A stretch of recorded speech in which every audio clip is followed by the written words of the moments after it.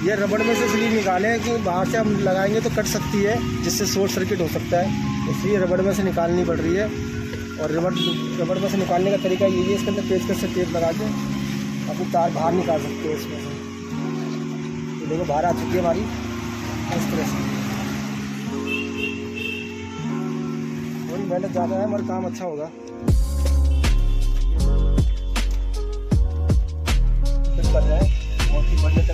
Wiring डलती है इसके अंदर।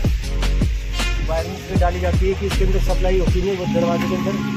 और कनेक्शन जो है बॉक्स के अंदर होता है। इसके अंदर फ्यूज बॉक्स में डालोगे फ्यूज बॉक्स में कनेक्शन डाला जाता है।